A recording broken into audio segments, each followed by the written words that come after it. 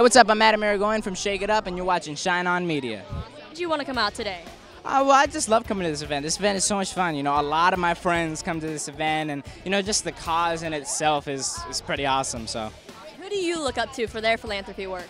for uh, I mean, I really uh, everybody. I mean, like, I just I, I love the.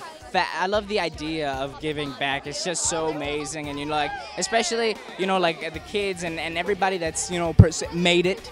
I, I feel like it's kind of like our our job to give back, you know, because I feel like if you know God has given us the opportunity to to have this much success, you know, we gotta give some back, and so that's that's the way I look at it.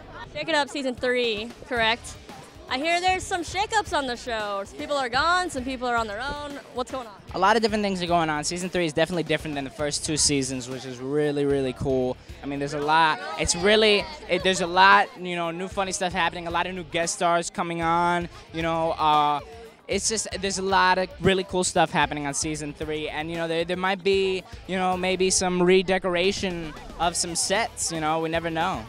Get to, go, get to know Deuce a little better. Are we gonna get more about him? We, we, I think we might. Yeah, this season there, there might be some new stuff coming up. You know, and I can't reveal too much, but uh, Just killing us. yeah, I, I, I gotta try. And I know you do music too. So what's going on with that? Yeah, my music is uh, is going really good actually. My uh, my single is uh, is gonna come out soon, you know, for Hispanic Heritage Month, which I'm really excited about. And then we filmed the video, and the video is amazing. I, I like to think so. So um, the video is gonna come out, you know, a few weeks after the song comes out.